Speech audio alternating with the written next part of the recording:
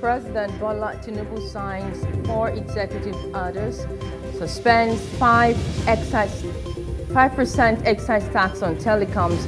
Uh, the General Secretary, Private Telecommunications Senior Staff Association of Nigeria, will be joining us to assess the impact of this development on our first hot topic.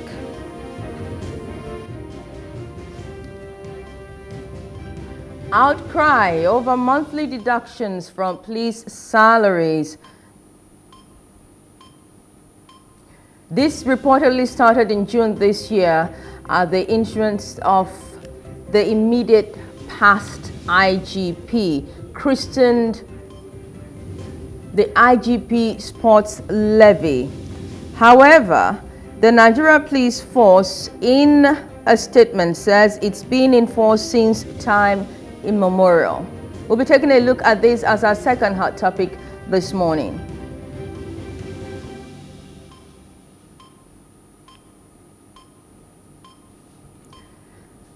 What are the headlines that made it to the national dailies this morning? We'll be taking a look at them on Off the Press with an analyst who will join us to analyze them.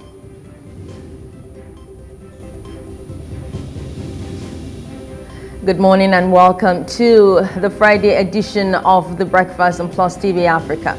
I am Maureen Menongweziwe. Top trending, Twitter rival Threads crosses 10 million users within hours of launch.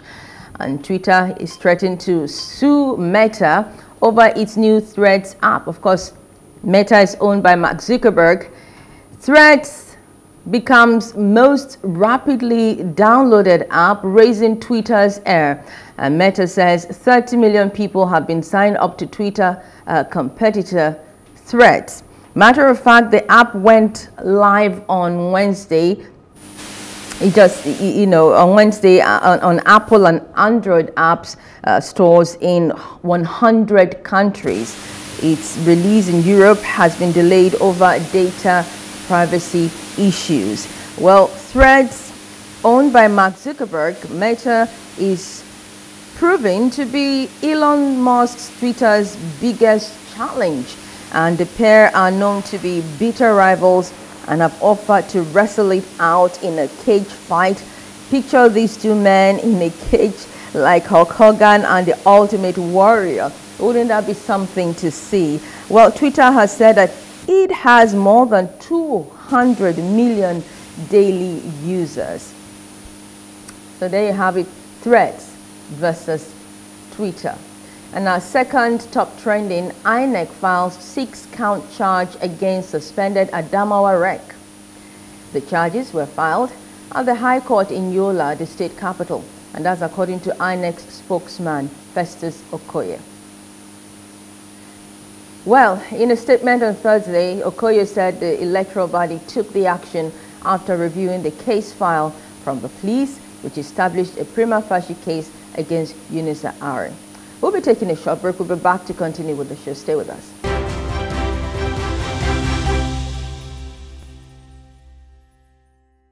All right, welcome. In case you just joined us, it's the Friday Flex edition of the Breakfast on Plus TV Africa.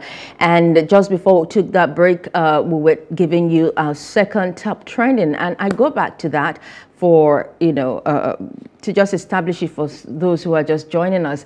Well, INEC has filed six count charges against suspended Adamawa REC. The charges were filed at the High Court in Yola, the state capital, and that's according to INEC spokesman Festus Okoye.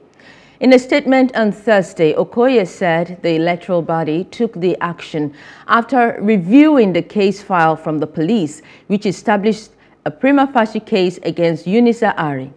The police had arrested Yunusa Ari over his actions during Adamawa state governorship uh, election.